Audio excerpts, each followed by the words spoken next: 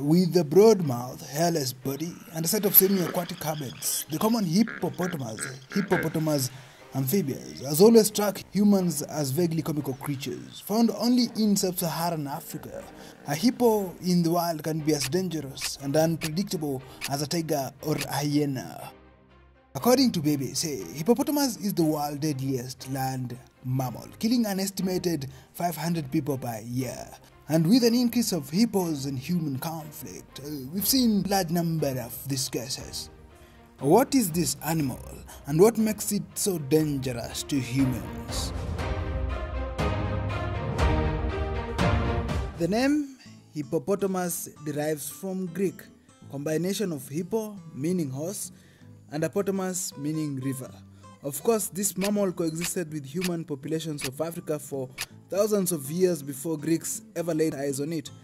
It is known by various extant tribes as Mvuvu, Timondo, or Kiboko, and dozens of other local variants. Hippos spend most of their time in shallow waters, emerging at night to travel to hippo lawns. These are grassy areas where they graze. They eat between 65 to 100 pounds of grass and foliage each night. Hips, somewhat confusingly posed, are classified as pseudoruminants.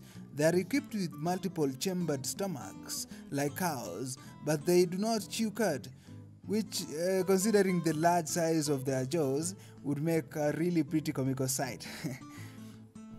Hippos are polygynous. One bull mates with multiple cows in his territory.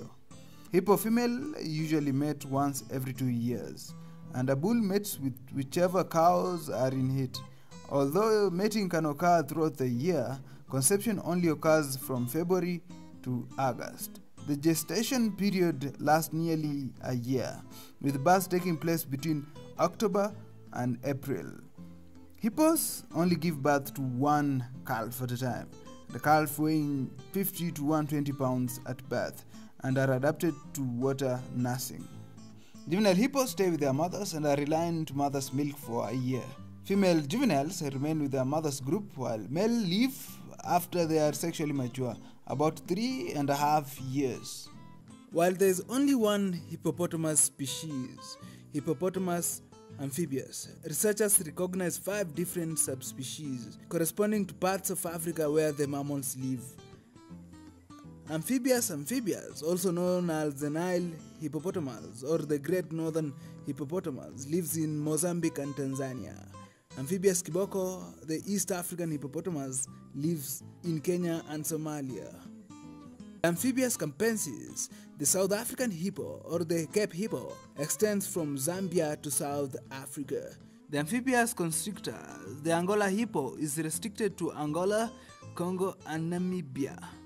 Amphibius chadensis, the West African or the Chad hippo, lives in, you guessed it, West Africa and Chad.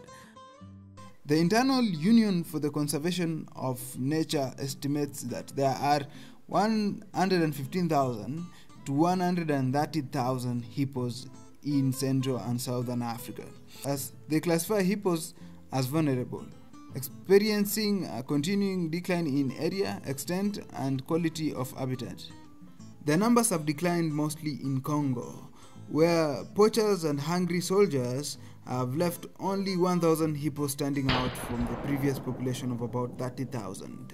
Like elephants, which are valued for ivory, hippos don't have much to offer traders, with the exception of their enormous teeth, which are sometimes sold as an ivory substitute.